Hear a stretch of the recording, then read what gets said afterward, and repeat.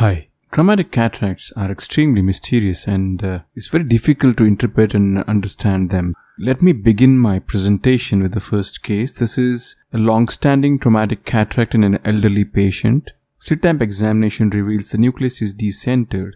Well, is it subluxated or am I dealing with an empty capsular bag? What is the status of anterior capsule and the posterior capsule? Can't tell presently. Is there any vitreous disturbance? Again, not sure about that. Well, the B scan is normal. So begin my surgery and as I puncture the anterior capsule, I realize that the zonules are quite healthy. So it was very easy to perform the rhexis. But as I'm about to manage the nucleus, I realize that something is not right. I become suspicious. I inject OVD and push the nucleus aside to realize that I have a, a big PC tear underneath, which is probably pre-existing. Now, how do we go about in such a situation? I prolapsed the nucleus out into the bag and I decided to go ahead with the IOL scaffold technique.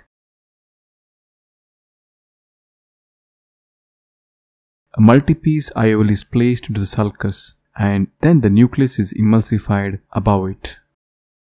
Well, the outcome was very good in this case and the patient recovered excellent vision. So in traumatic cataracts, one has to be ready for the surprises. But in this case, there was a clue. When I went back and looked at the biometer, the antechamber depth is unusually very large and this should definitely have raised some suspicion about a pathology in the posterior capsule because the nucleus was quite posterior.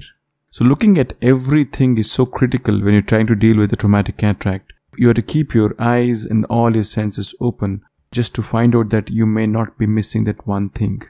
So like life, traumatic cataracts are mysterious. You never know what you're going to get. In traumatic cataracts, prognosis varies from poor to excellent depending upon so many factors. But in my experience, I have divided them into four important factors which can lead to a poor prognosis.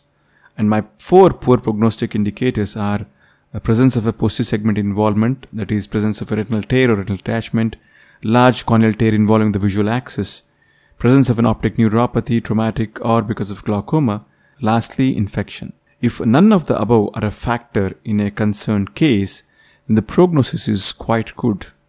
Traumatic cataracts come in various different sizes and shapes. The first variant would be they may come with nothing at all, that is with an intact capsule and a healthy zonules but a history of trauma. Number 2 would be ruptured anterior or posterior capsule. Number 3 would be rupture of both the anterior and the posterior capsule. And lastly, we could have a subluxated cataract. But in all these situations, no matter what the situation is, invariably the prognosis is very good provided you have a good retina and a good cornea.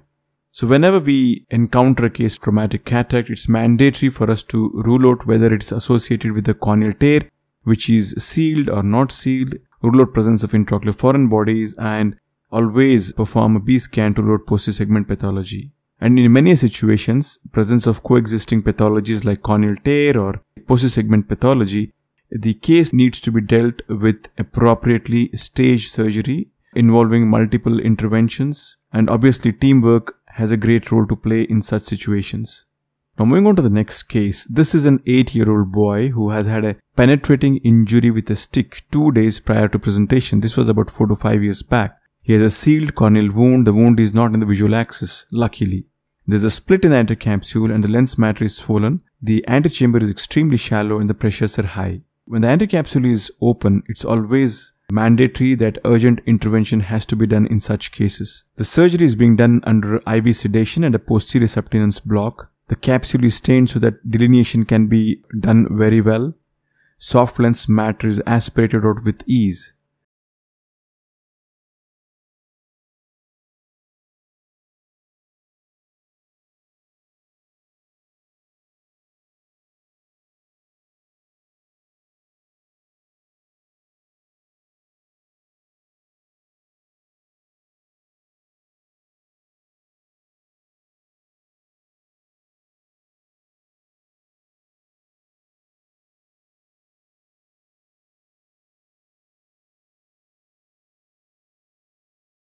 But as the last bit of uh, lens matter is being aspirated out, I realize that a, a quite a big posterior capsule tear is staring at me. Without withdrawing my irrigation cannula, I inject diluted tricort to check for any prolapsed vitreous but thankfully there was none and the anterior was intact until this stage. When we encounter such a situation, our goal is to ensure that we the posterior capsular tear does not enlarge and we don't have an antihyaloid rupture.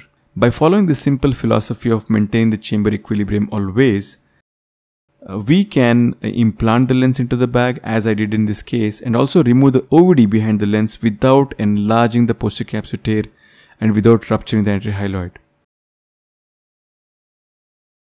Postoperatively, the patient did extremely well and he enjoys an excellent vision. It is 4 years in surgery and I saw him a few weeks back and he continues to do well. Moving on to another variant of trauma, an elderly man with a blunt injury has presented with a subluxate cataract which is intumescent. There is 3 to 4 clock hours of zonular dehiscence. The first thing I need to do is to rule out a vitreous prolapse and this is done by using a triamcinolone acetonide and in fact it is confirmed that the vitreous is indeed prolapsed out. So before even we do rhexis, it's mandatory that we deal with the vitreous first. Antivitrectomy is done and then dispersive OVD is used to tamponade that area. Now I need to begin with my cataract surgery. The rhexis is done. A capsule hook is used to support the area of zonular dehiscence and then the CTR is placed into the bag.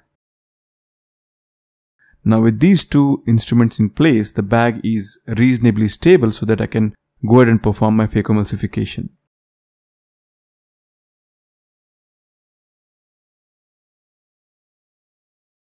The nucleus is emulsified.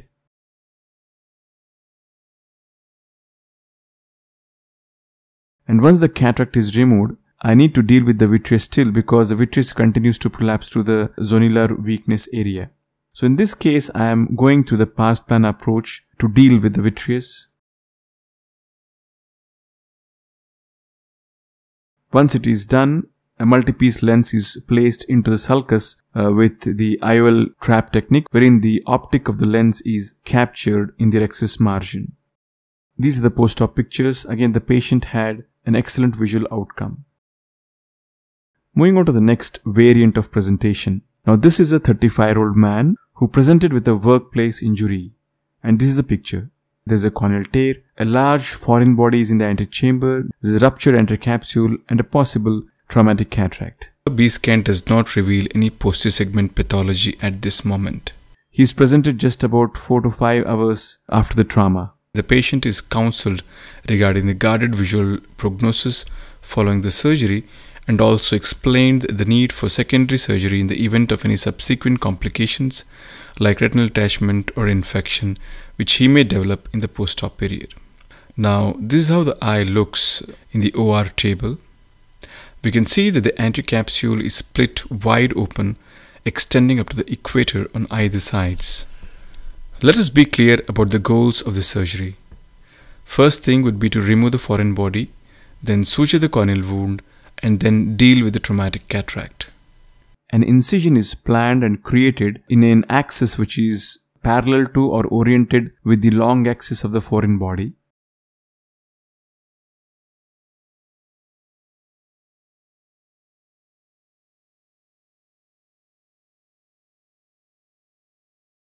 Under the cover of dispersive OVD, the large foreign body is extracted out gently.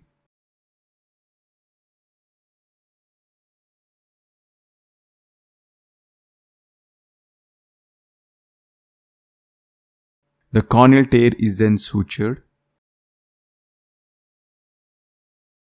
Once it is done, I'm having a look at the lens and the lens needs to be dealt with now itself because the anterocapsule is already split wide open.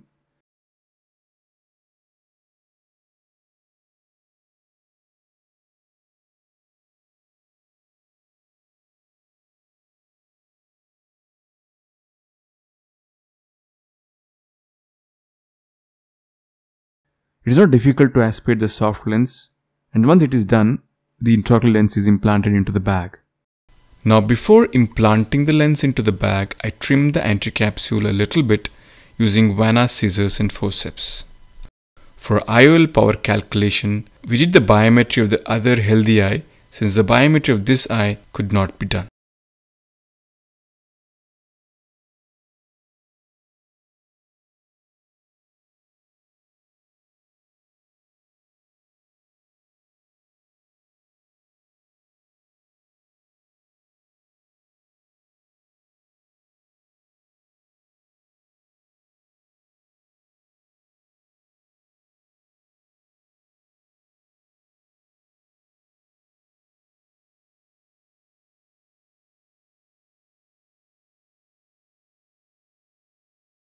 And in spite of such a bad presentation, the patient did extremely well simply because his posterior segment was normal and the retina and other things were absolutely normal. And even with the sutures, he enjoyed a good visual outcome of a 612. The sutures were removed later. Two years later, he came with posicapsular opacification, which was yagged. And then again, he continues to do well. A three-year-old boy with a penetrating injury two months back. We have a sealed corneal tear with a scar, traumatic cataract, a posterior synechia, and with a suspected anterior and a posterior capsular tear. The B scan does not reveal any posterior segment issue. The goal is to remove the cataract and put in a posterior chamber lens either in the bag preferably or in the sulcus. Meticulous planning is necessary to deal with such situations because our ultimate goal is to preserve whatever anterior capsule and posterior capsule which is still present there because if we can manage to implant a posterior chamber lens safely uh, that could provide an excellent visual rehabilitation for this young child.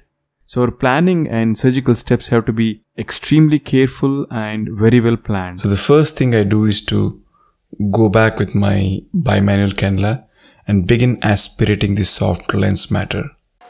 After clearing one quadrant, the hands are switched.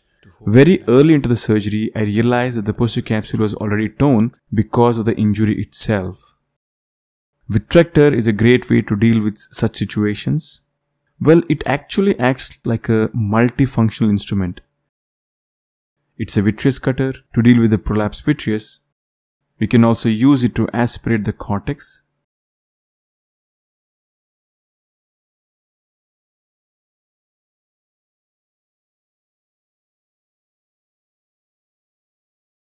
And also, it is helpful to trim the capsular margins, whether anterocapsule or the posterior capsule.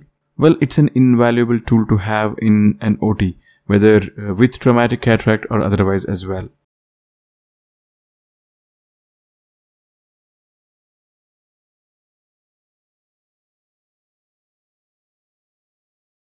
In such cases, if you can deal with the prolapse vitreous efficiently and remove 100% of cortex the outcomes are excellent in spite of the lens being placed in the sulcus uh, because of the situation in this eye. And I'm following this case for the last many months and the child continues to do well.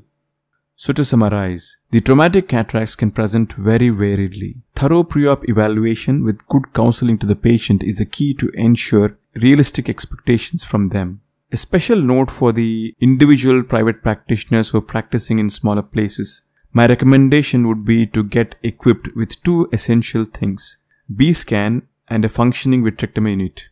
If you already have it in a phaco machine, that's great. Because a reasonably skilled cataract surgeon can give good outcomes in these deserving rural patients if certain basic uh, principles are followed. That's it. Thank you for the opportunity and thank you for watching.